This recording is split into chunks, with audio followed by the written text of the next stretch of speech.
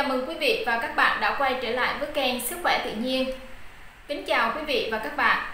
Thay mặt những người làm chương trình, chúng tôi xin kính chúc quý vị và các bạn dồi dào sức khỏe và tràn đầy niềm vui trong cuộc sống. Xin chào tất cả các bạn. Hôm nay Sức khỏe tự nhiên sẽ giới thiệu đến các bạn cách chữa đau dạ dày tại nhà nhanh và hiệu quả nhất bằng thuốc nam. Hiện nay có không ít cách chữa đau dạ dày nhanh và hiệu quả. Trong đó có những phương pháp điều trị tại nhà từ các bài thuốc nam cũng cho thấy được nhiều ưu điểm nổi bật như tính an toàn, rẻ tiền và đặc biệt là không tác dụng phụ. Mời quý vị và các bạn cùng tìm hiểu một số cách chữa đau tại nhà đơn giản dễ thực hiện cho người bệnh đau dạ dày sau đây. Đau dạ dày có chữa được không? Căn bệnh này thường được biết đến là khi người bệnh có cảm giác đau âm ỉ, đau quặn từng cơn và có cảm giác nóng rát phần dạ dày. Ở một số bệnh nhân khác còn có biểu hiện của việc đau ở vùng thượng vị, nhất là khi đói.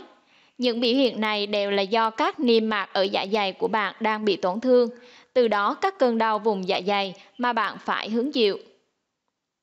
Theo các bác sĩ chuyên khoa thì các cách chữa đau dạ dày, ví dụ như việc sử dụng thuốc sẽ chữa được bệnh khi chưa trở thành mãn tính. Điều này có nghĩa là nếu bạn phát hiện ra bệnh kịp thời thì việc chữa trị sẽ đem lại hiệu quả. Tuy nhiên, bạn cần phải thực hiện kiên trì và kiên khem nhiều loại đồ ăn thức uống trong quá trình điều trị bệnh. Như vậy thì việc điều trị và chữa khỏi bệnh mới đem lại hiệu quả cao nhất. Bên cạnh đó, người bệnh cần phải tuân thủ theo phát đồ và cách chữa đau dạ dày do các bác sĩ chuyên ngành khuyến cáo. Tuyệt đối bạn không được tăng, giảm liều dùng của thuốc theo quy định của bác sĩ.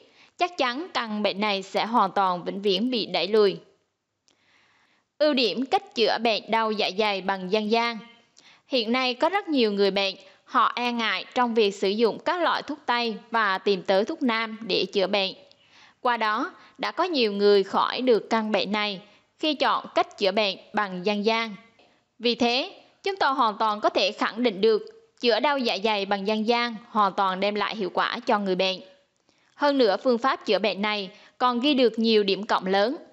Đó là cách chữa đau dạ dày bằng thuốc nam. Để chữa bệnh bằng các vị thuốc nam hoàn toàn có trong tự nhiên, chúng tôi xin mách bạn cách chữa bệnh thông qua một số bài thuốc sau. Cách thứ nhất, cách chữa đau dạ dày bằng mía và gừng. Người bệnh chỉ cần đem 3 đến 4 đốt mía và một củ gừng tươi ép ra và hòa lẫn vào nhau để lấy nước uống.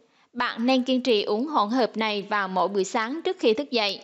Chắc chắn một số tình trạng ở hơi, ở nóng và đau bụng do bệnh sẽ được thuyên giảm. Cách thứ hai, cách điều trị đau dạ dày bằng lá bàng non. Lá bàng non chữa bệnh vì chứa nhiều hoạt chất làm cho dịch axit trong dạ dày ít bị tiết ra. Đồng thời, các hoạt chất này còn nhanh chóng làm xe và lành các vết thương trên niêm mạc dạ dày. Qua đó, người bạn chỉ cần dùng tới một nắm lá bằng non và đem đun với 1,5 lít nước và uống thay nước lọc trong ngày. Khi kiên trì uống, bạn sẽ thấy bệnh cải tiến một cách dễ dàng cảm nhận được. Cách thứ ba, đó là gạo lứt và lá ổi. Gạo lứt và lá ổi, cách điều trị đau dạ dày được nhiều người bệnh áp dụng và đem lại hiệu quả cao. Người bệnh chỉ cần đem một nắm lá ổi nhỏ, sau đó cho vào bếp lửa rồi xào vàng lên. Cuối cùng, bạn cho lá ổi với khoảng 60g gạo lứt đun với khoảng 0,6 lít nước. Người bạn chỉ nên đun với ngọn lửa nhỏ cho đến khi mực nước giảm chỉ còn 0,3 lít thì dừng lại. Sau đó người bệnh sẽ chắc lấy phần nước và uống vào bất kỳ thời điểm nào trong ngày. Cách thứ tư, đó là cách chữa đau dạ dày bằng lá tía tô. Theo đông y, tía tô là loại thảo dược có tính ấm, cay, giúp điều trị các chứng bệnh liên quan tới đường tiêu hóa cực tốt. Loại cây này cũng được dùng hiệu quả trong việc chữa trị bệnh lâu năm. Người bệnh chỉ cần đem lá tía tô phơi khô khoảng 1 kg rồi để uống hàng ngày. Khi uống, bạn chỉ cần hãm lá tía tô với lượng nước vừa đủ để uống trong một lần. Khi muốn uống tiếp, bạn sẽ thêm nước vào và chỉ thay lá tía tô mới vào lần uống của ngày hôm sau. Cách thứ năm, vỏ cam khô điều trị bệnh đau dạ dày. Đây là loại trái cây có hàm lượng vitamin C, giúp làm lành vết thương bên trong dạ dày cực tốt. Vì thế, bạn hoàn toàn có thể sử dụng cách chữa bệnh bằng vỏ cam khô. Cụ thể, người bệnh sẽ đem vỏ cam phơi khô khoảng 2 đến 3 lần nắng. Sau đó mỗi ngày, bạn sẽ lấy khoảng 5 gram vỏ cam khô này để pha với nước thật sôi. Sau đó bạn dùng nước này để uống bình thường thay cho nước lọc.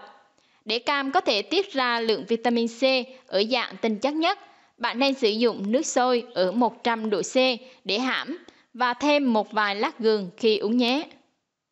Cảm ơn quý vị và các bạn đã theo dõi video của Sức khỏe tự nhiên. Quý vị và các bạn cũng đừng quên nhấn vào nút đăng ký để ủng hộ kênh và nhấn vào chuông thông báo để nhận được những video mới nhất và hay nhất của Sức khỏe tự nhiên. Cuối cùng, xin kính chào và hẹn gặp lại quý vị trong những video lần sau.